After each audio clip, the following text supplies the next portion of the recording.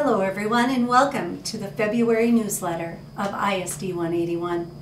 I'm Lane Larson, Superintendent of Schools, and I want to welcome you to what we refer to as Fabulous February.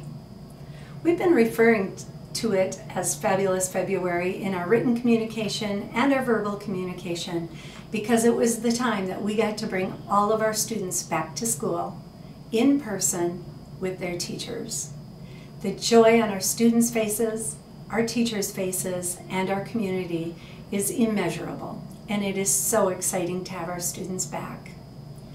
There's not a lot of items to talk about today in our video newsletter because we're just getting started and we intend to finish our school year strong. We have three months where if we continue to implement the mitigation strategies that we've been asked to do, we hope to keep our students in session until the remainder of the school year. How do we do that? Again, please wear your face mask when in the company of others. Please maintain the three to six foot social distancing. Wash your hands frequently. Cover your mouth when you have a cough and stay out of large crowds whenever possible. We're just so excited to have our kids back and we want to stay that way for the remainder of the year so we can finish this school year really strong and really fun for all of our students that are in school.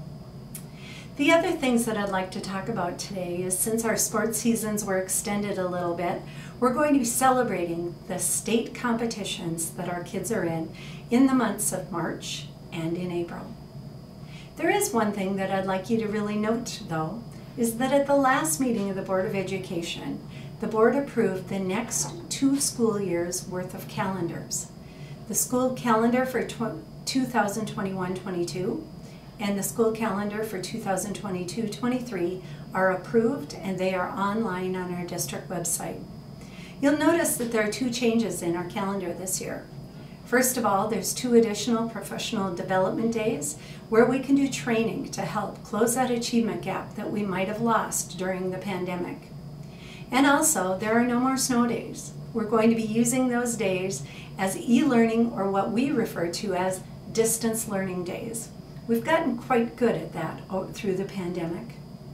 And finally, the last thing I'd like to end with today is please put on your calendar Saturday, May 1st as we are going to have the grand opening to what we refer to as the Performing Arts Center. This coming Monday at our board meeting, we're going to be naming that facility, but we're excited to dedicate it and start using it with our students before the school year ends. Thank you everyone for your partnership, for your friendship, and for supporting us through this interesting pandemic of a year. Together, we are doing what's best for our students, our staff, and our entire school district. We truly are a partnership focus, focused on educational excellence. Have a wonderful month, and I'll see you at the end of March.